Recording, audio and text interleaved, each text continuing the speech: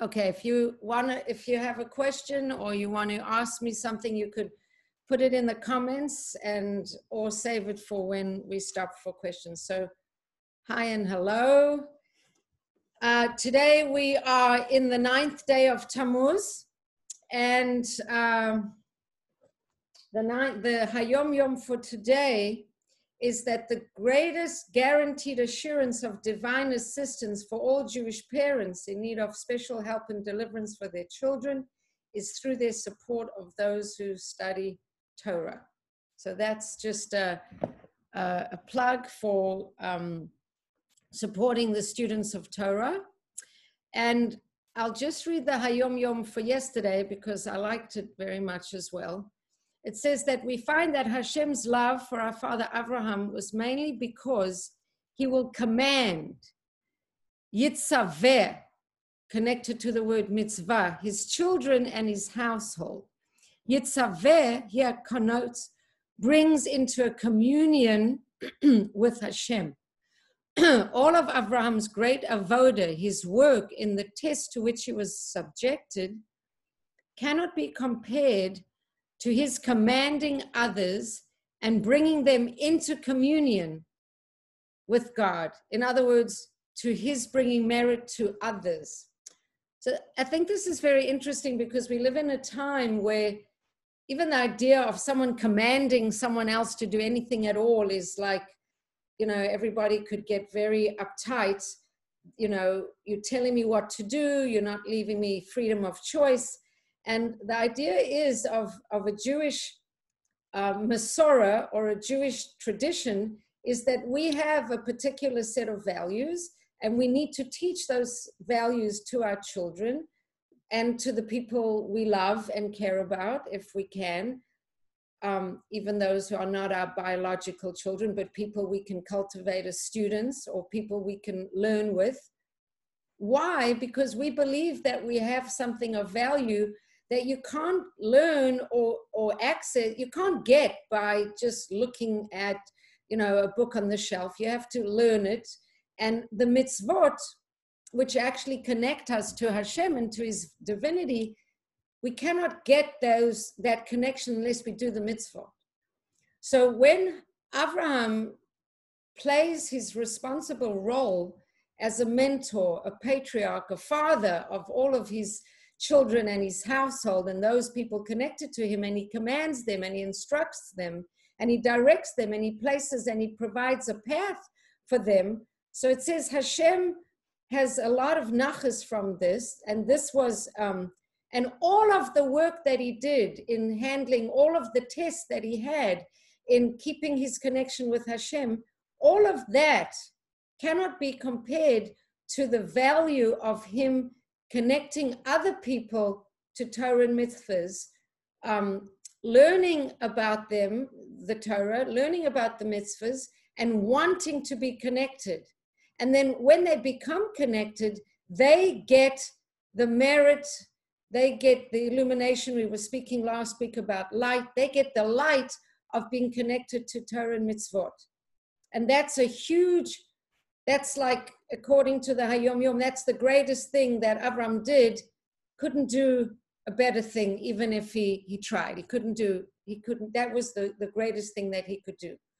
Now, it just reminds me of a Hayom Yom that we started a class with um, a week ago or two weeks ago when we said that given that it's so close to Mashiach's time now, we, um, we have to we have to, thank you, Karina, we have to um, try and connect as many Jews to, to Torah as possible.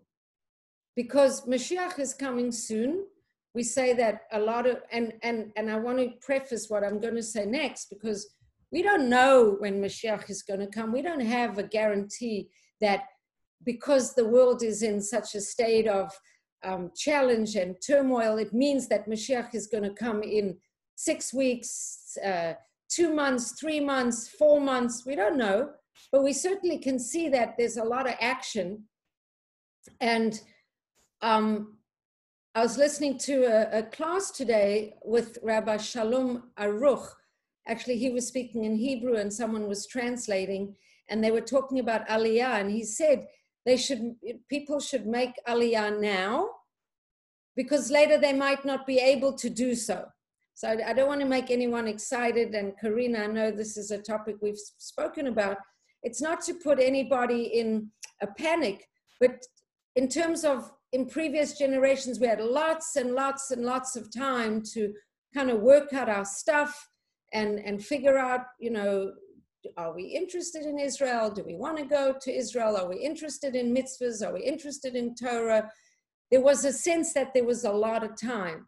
So, in a sense, the, the Hayom Yom that we read is Mashiach is coming, and we want people to be connected in so that they can get the benefit of being part of the Jewish people when whatever shift occurs actually occurs. So, there is some sense of urgency. So, on, on one hand, a person should take it seriously to connect other people who not yet connected in to connect in because for their sake we want them to be connected in so that when things change they'll be in. It's almost like um, a lifeboat and we want everyone to be in the lifeboat because the sea's going to be a little rough that's one aspect of it and another aspect of it is that of all the things that abraham did this commanding his family and connecting people was a huge thing. So, one point I wanted to make about that is not to be afraid to command, to direct our children, and that Hashem has commanded us, but the commands are all means of connection. So, that's just by means of introduction, our um, Hayom Yom, our warm up for the day. So, now um, coming into the Parshiot. So we have two Parshas this uh, week. I was explaining that because um, we've been out of sync with Eretz Israel. They've been one Parsha ahead of us for quite a few weeks. But after today, we're going to be back in sync with um, which Parsha they're reading in Eretz Israel. So we have one Parsha called Chukas. And the word Chukas is connected to uh, mitzvot that have no rational reason. There's chukat, mishpatim, and edut. Edut are testimonies. Um, uh, uh, choks or chukas are from the choks, they, they, they mitzvot that um, don't have rational reasons, and mishpatim are ordinances, different uh, things that keep a society running in a civilized way. So the the test the edut, the testimonies are such and such a, a, event happened in such and such a time, and we have a holiday to acknowledge, to give testimony to the fact that certain things happened at a certain time. That's the edut. The um, mishpatim are you should leave uh, a corner of your field for the poor people. When you when you sow your fields, you shouldn't mix different species. Uh, practical things like that. And then chokim are things that have no reason. And the pasha opens with a very strange chok, uh, one about the red heifer, which is if a person is in a state of impurity while they were in the desert, moving in the experiences uh, traveling through the desert. If they were in a state of impurity, then they would need to get hold of uh, a cow that was 100% red. Every hair on that cow was 100% red. And they would um, shech the cow and then burn, uh, put it on a, on a, um, a sacrifice, get the, um, the ashes from this cow and use it in a ceremony. The, the Kohanim would use it in a ceremony so that the person who was impure would become pure. And then the Kohanim who were actually officiating at that ceremony, who were previously pure, they would become impure. And there's a certain uh, ritual to it, and it's something that is a very important ritual, but it's something that's very hard to understand. And the whole point of it is it's, in a way, an aspect of our service to Hashem that we we don't we don't do it because we understand it. We do it because Hashem commanded that we do it. So that's how the parsha uh, opens, and then we have um, the um, the death of Miriam. So it's I, I, um, I'll just read it to you because it doesn't really say a whole lot in the Chumash about her. It just says when we start the second chapter in this uh, in in Pashas Chukas, it says the children of Israel, the entire community, came to the desert of Sin in the first month, and the people stopped at Kadesh, and there Miriam died, and there she was buried, and that's all it says. And then the very, very next uh, verse says, But then there was no water for the community, so they congregated against Moshe and Aaron. And that's really all it says. So if, um, so Rashi says, first of all, why is this topic of Miriam coming right after this idea of the red heifer, that somebody who is impure can become pure through the sacrificial um, uh, offering. So Rashi says to teach us that just as the sacrifices can provide atonement uh, or purification, so too the death of the righteous can atone. So this isn't a Christian idea, although the Christians certainly use this idea. But if um, Hashem feels that a certain debt needs to be paid, or there's a certain imbalance, there's a certain um, something needs to occur um, for Hashem to be happy with the people again, possibly. So the death of a tzaddik can be an atonement. It's written here, right in uh, Rashi. So it says Miriam died with a kiss she died with a kiss. She was righteous, and it was just Hashem decided it was time to for her to die, so she died in in this way. Um, uh, um, okay, so then um, and then suddenly it says that there's no water for the community, and then Rashi tells us from here we derive because these two verses are put so close together that Miriam died and then that they didn't have water. So we can derive that for the entire 40 years that they were in the well, they had water in the merit of Miriam. So, um, just a few little facts. Miriam dies, it's the 10th, it's the 10th of Nisan when she dies. And they enter into Eretz Israel exactly a year later, on the 10th of Nisan. One year later, they enter into Eretz Israel. So this is at Miriam dies at the end of all all the uh, 39 years of wandering, because we uh, I guess they were wandering and wandering, and after 40 years they enter into Eretz Israel. A little later, we read about the death of Aaron, so this parsha is really a little bit of a transition parsha. All of the um, all of the people that came out of Egypt uh, have passed away. Most of them have passed away, and the the nation that's going to go into Eretz Israel is really a different nation. And it's interesting to look at the the different nature of one generation to another. So a lot of the people we know that when the spies came back and they spoke Lashon Hora about the land of Israel, people were very upset. They were crying. They felt they bought into the narrative of the spies. And so Hashem said, I'll give you something to cry about. None of you are going to enter into the land of Israel. So they were all feeling very upset. And I think, welcome, welcome to our newcomers. So they were feeling um, they get punished and they don't have the merit to enter into Eretz Israel. And then Miriam dies, and Aaron's going to die in this parsha.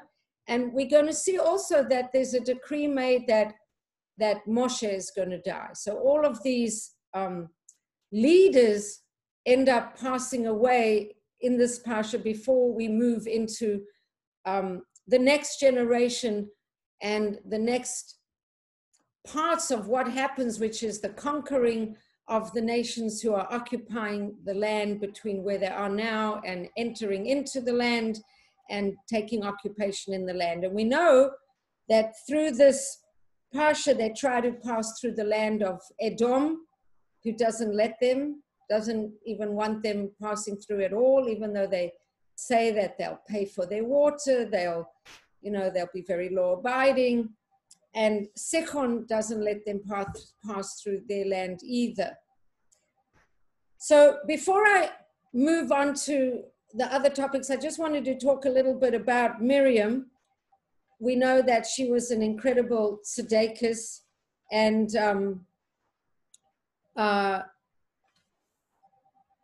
we know that the Talmud explains that while the Yidden were in the desert, moving through the desert, they had different gifts in the merit of Miriam, Aaron, and Moshe. That in the merit of Miriam, they had the well. Um, in the merit of Aaron, they had the pillar of clouds that kept them kind of protected. And in the merit of Moshe, they had the man. So all of these are also um, connect to different aspects of Torah learning, but the well itself is uh, always, we always associate water with Miriam. And so when the water, when the, when the well no longer was there, right away we have contention. Now, I don't know, I remember teaching this last year, talking about the fact that, uh, that Miriam played a role, not only was the water in her merit, but if we say water was Torah, that maybe Miriam was able to provide an aspect of Torah teaching. We know she was a leader of the Jewish woman, and we know that Jewish women have um, an extra level of Bina, Bina Yesera, it's called, so that women have this extra ability to interpret and dilute and chew on and digest the Torah learning, so that while Miriam was around, the Torah that they were experiencing, maybe she had an ability to put it into words that the woman could receive and the woman could then speak with their husbands. As soon as she was no longer there, not only was the water temporarily taken away, but immediately there was strife, and the people are c- complaining right away to Moshe and Aaron. So, why does Miriam have this merit that in this um, schus, this merit, that because of her, the Yidden could have this access to water. And I've explained um, many times that the water was actually in the form of a rock that I've now learned was sort of like a sieve, and the water was inside the rock, but kind of uh, flew, uh, flowed out of the holes in the rock. So the rock was kind of like a, a giant sieve with the water inside it. And then when they would stop, the water would drain out of, of the rock and, and form canals that would go to the different camps of the Yidden. So the Zohar explains that Miriam had this um, merit because A, the way she stood by her brother and watched him when he was placed in um, into a basket when when he, her brother Moshe was very little. That's one reason she was so. Um, she showed such midot of care and concern around what could have been a dangerous body of water, the Nile, and she was watching. The second thing, the Midrash says that she has this connection to water because when they crossed through the, the, the Yam Suf, the Red Sea, and it split, her singing and her joyfulness and her her dance with the cymbals and the tambourines and these special drums that they had.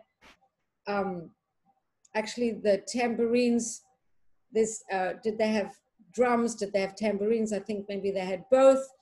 But she led the woman in song in such an exuberant way.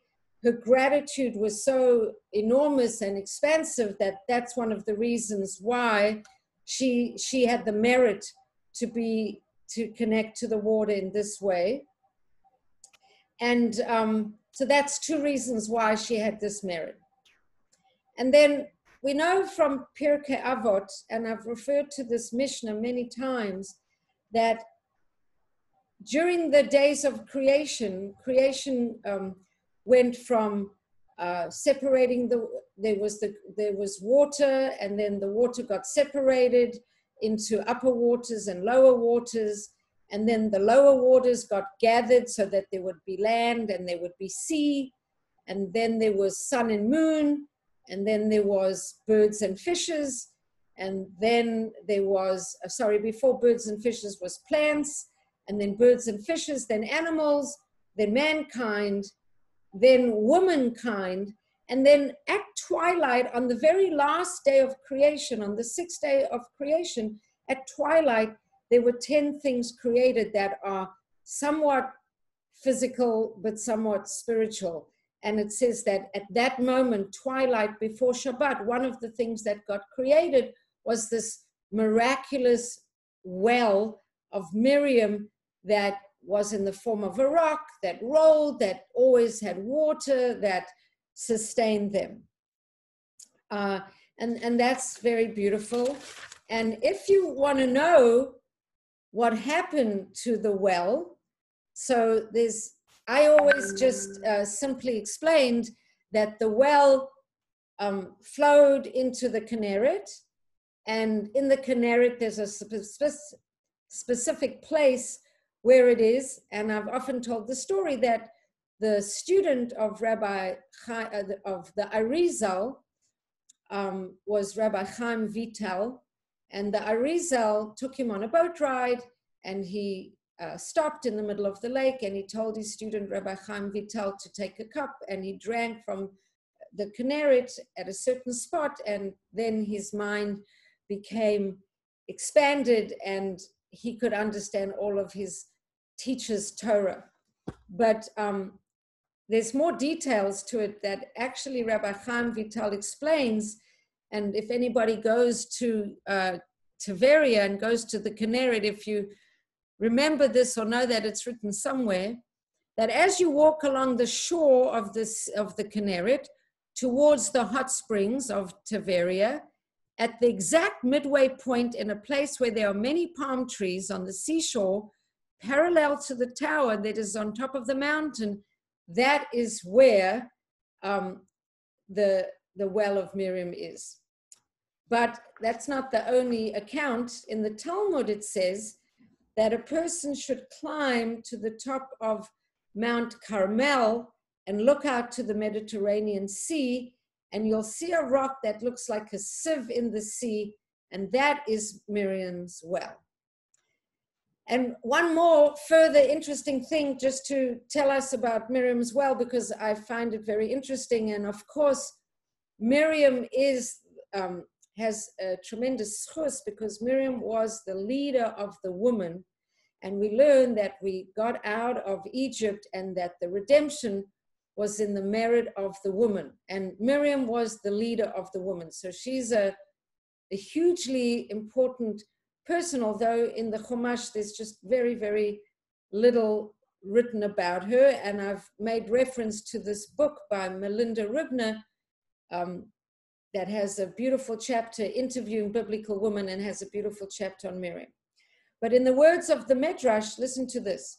There was once a man with a skin disease who went down to immerse himself in the Sea of Tiberias.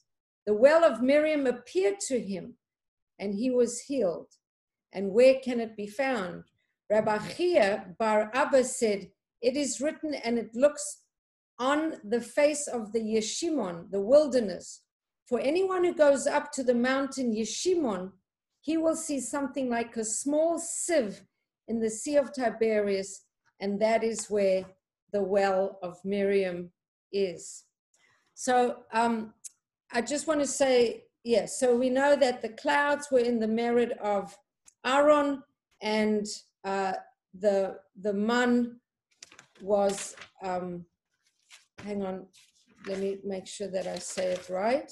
That um, that uh, the the the water was Miriam, the clouds um, I believe were Aaron, and the man was Moshe. So I'll pause the video for a moment. Okay, so uh, we have all these beautiful, um, beautiful ideas about the, the rock, Miriam's well, and um, the importance of Miriam. Just one other thing to say about Miriam is that it says that when we drink hot liquids or freshly brewed tea or after Shabbat, if we reboil water or draw water, um, it's somehow mystically, magically, I'm not quite sure, connected to Miriam's well. And some people have the custom to make sure to boil fresh water on Motzei Shabbat to drink with the Melave Malka, and somehow that connects us to Miriam's well. So moving on in, in, in the um, story, the next part of the of Pashas Chukas is a very, very dramatic story. And the story is all about this idea that um, they didn't have water. And why they didn't have water, we just said, because Miriam passed away and in, it was in her merit that the water was there. And then the people quarreled with Moshe and said to him, If only we had died just like our brethren before, why did you bring us here so we would have to die? And they're feeling very thirsty. We've already explained that this thirst is also a thirst for accessing the information, accessing Torah. Maybe it was an absence of Torah inspiration altogether. Why did you take us up from Mitzrayim to bring us to this terrible place? It's not a place suitable for planting, nor are there fig trees, vines, or pomegranate trees. Then there's no water to drink. You can see from my background, they're in the desert. They haven't yet come into Eretz Israel. And um, I like the question that was asked about Eretz Israel. And all of what they're doing is this journey to try and come into Eretz Israel. Um, and part of the story is leading to a great tragedy. And the tragedy is that Moshe Rabbeinu is denied entry into Eretz Israel because of what happens next. So they're complaining and they and they're moaning and they're groaning and no fig trees, no vines, no pomegranate trees, no water to drink. So Moshe and Aaron then went from before the congregation to the entrance of the Ohel Moed, and they fell on their faces, and Hashem appeared to them. And Hashem spoke to Moshe, saying, Take your staff, take your staff. And now we've known this staff. Moshe has done a lot of amazing things with the staff. He's come to Paro, he's thrown it down, it's turned into a snake, he's held it up by the Yam Suf and it split the Yam Suf. He's done a lot of very powerful things with this stick. But he says, take this staff, stick, assemble the community, you together with Aaron, your brother, and you shall speak to the rock. Now, note he says, You shall speak to the rock in full view of the people, and it will produce its water. You will thus bring forth water for them from the rock, and you shall then give the community and the animals to drink. Now, it's interesting because um, I'll just read a little bit more. Moshe took the staff from its place before Hashem, just as he commanded. He assembled the congregation in front of the rock now Rashi says this, this is a miraculous thing because all of the people assembled in front of the rock. It was some kind of miracle that they all felt like they were right in front of the rock, which is very interesting um, about this rock.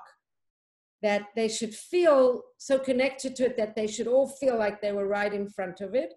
And Moshe said to them, Listen now. And he gets angry because they've been moaning and groaning. He says, Listen now. And he calls them, You fools. Well, that's not what it says in the, in the Chumash, but that's the English translation. From this rock we shall bring forth, from this rock shall we bring forth water for you. Now, the Meforshim explained that I don't know how big this rock was, but in a way, it explains that the rock somehow rolled away from being right in front of them. They weren't so sure which rock it was. And at this point, Moshe is not quite sure which rock it is that's the right rock which will give forth water. And then what did he do? He raised his hand and he struck the rock twice with his staff. And then water came out and everybody drank. But Hashem said to Moshe and Aaron, Because you didn't believe in me and you didn't sanctify me in full view of the children of Israel, you will therefore not bring this congregation to the land that I have given them. Now, this is a very intense story, and the reason, the official reason why Moshe didn't bring them is that instead of talking to the rock and letting the people see that just through talking to the rock, he hit the rock. Um, and in hitting, he was maybe checking, is this the right rock? Which rock is it? But he hit the rock and um, he was punished because he should have spoken to the rock. Now, I, I have a, my husband has a cousin who lives in Eretz Israel, who's a Rosh Yeshiva of a beautiful Hesder Yeshiva called um, Otniel. And uh, his name is Yaakov Nagen, and he's written a book on the Parsha. And he said a very, very beautiful thing. And it's such a beautiful idea in terms of chinuch, because what he said is that for the old generation that came out of Egypt that had previously been living and dying in the desert, the way of parenting or of leadership was different. And Moshe could take his staff and be very vigorous and kind of assertive and authoritarian. And the way he moved and acted with that uh, staff was kind of in a very authoritarian manner.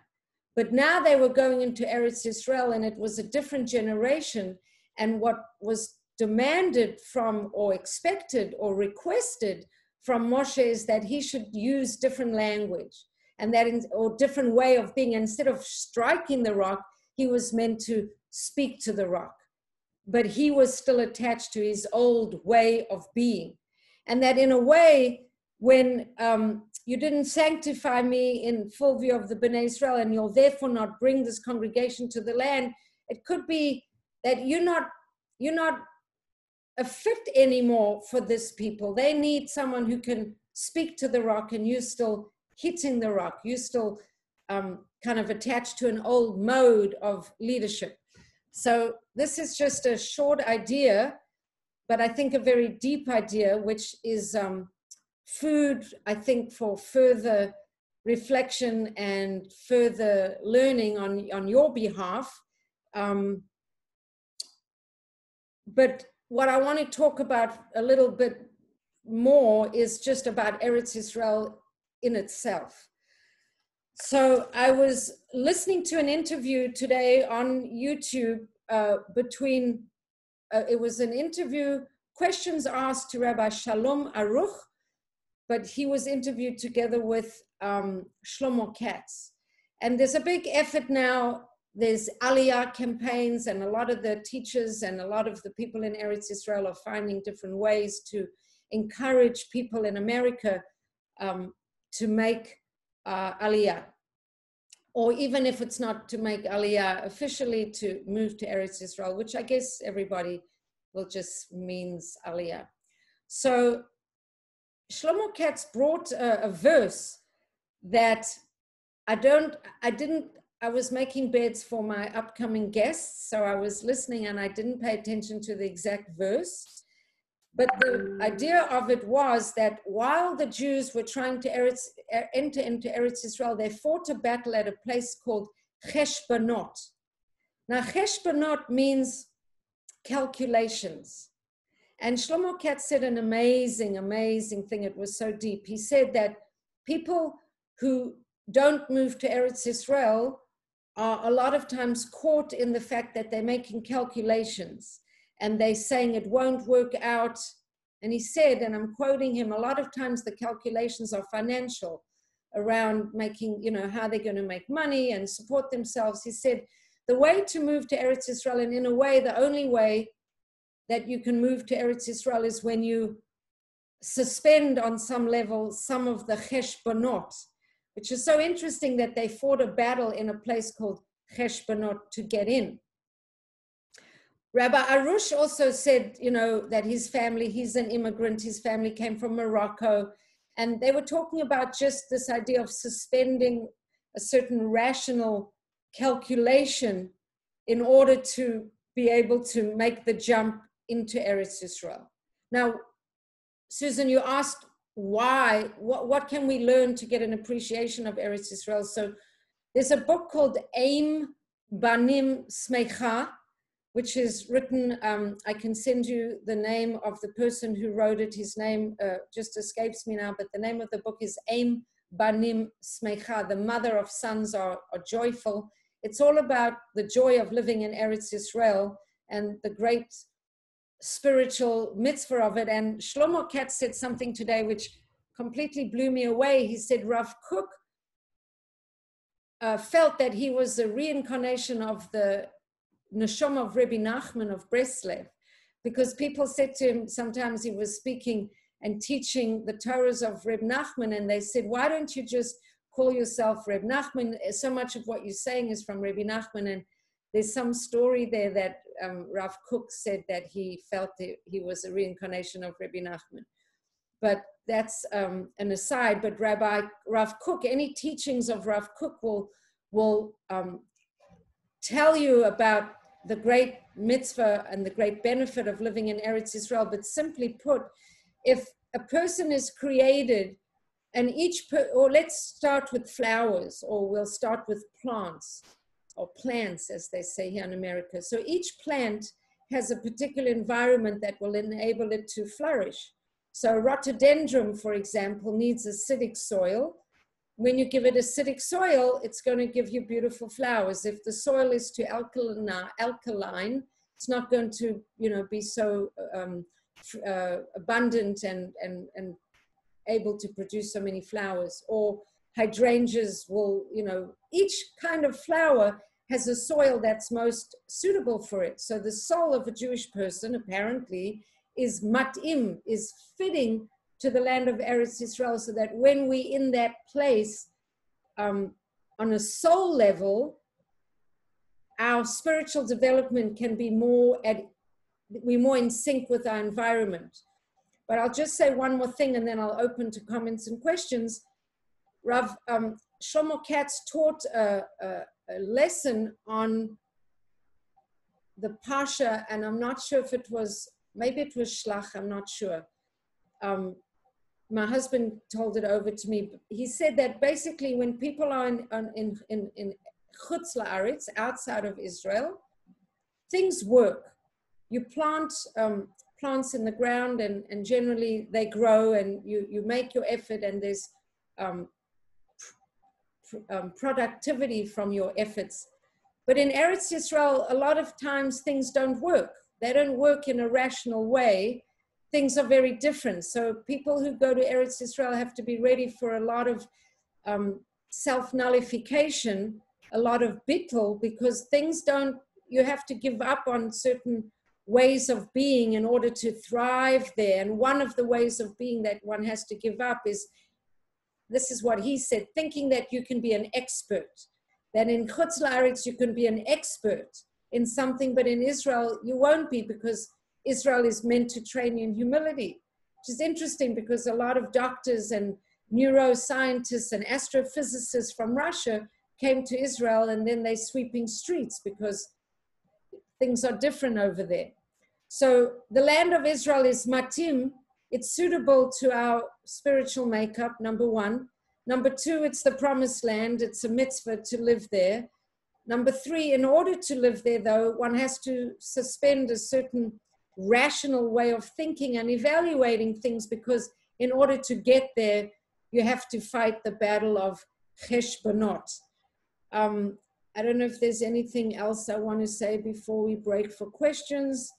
Let me just think, because we know that the whole point of our existence in this world is to turn the land and to make it fruitful. So the fact that Eretz Israel is a place that we cultivate and try and turn it into an abundant and, and fruitful and um, uh, financially viable place in order that from there it says Torah mitzion uh, mitzion Torah from Zion the Torah is going to go out to the whole world from Israel when Israel is strong and um, successful as it is becoming in our times So the messages of truth and other um, knowledge goes out to help the whole world. And Baruch Hashem, we've already seen that.